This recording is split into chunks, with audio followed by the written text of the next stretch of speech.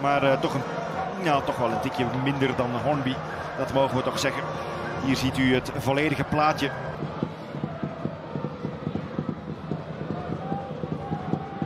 En dan de voorzet richting tweede paal. Bessie Leder tussen. Ambroos nog. Hornby. Ambroos. En dat is een strafschop. Strafschop voor Oostende.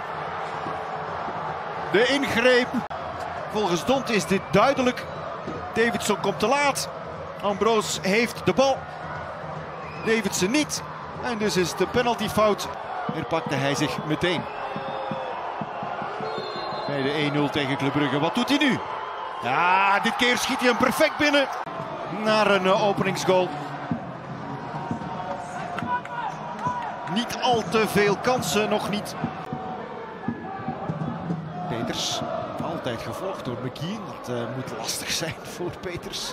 En hier is Conan 3, die is snel, die is snel. En dan gaat hij naar de grond. En wat heeft Tange gedaan?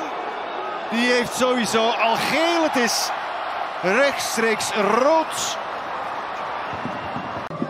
Bijna 0-2. Fraser Homey. Vorige week dus uh, ziek. En die stunt zeker tegen Club Brugge gemist. Ondertussen Gassama. Gassama in de winkelhaak. Het staat niet 0-2. Nee, het staat 1-1. Een half minuutje na die kans voor Hornby. Is de, die gelijke stand toch wel verdiend. Wat een afwerking. Hij heeft er al alles uitgehaald, Guillaume Hubert, maar deze, nee. Deze was niet te pakken. Wat een streep. Een 3 met de assist. Gassama draait. Niet, niet alleen Oostende, ook uh, Zultewaregem. Oh, Paashuizen. Balverlies. En de kopbal van een Dika. Het staat 1-2. Is daar een Dika. Ai, Rune Paashuizen. Het loopt helemaal verkeerd deze fase voor hem.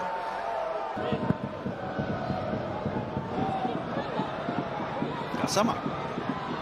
Even wachten. En dan is daar 2-2. Preveljak. En dan staan de bordjes weer gelijk.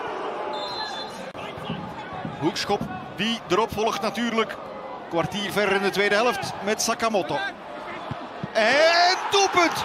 Hornby grijpt alleen wat lucht. Eupense lucht. En Hornby knikt hem binnen. Zo simpel kan het zijn. Gaan ze nog een uh, verdedigende pionne van de middenvelder opofferen? Het zou wel eens kunnen. En weer een doelpunt.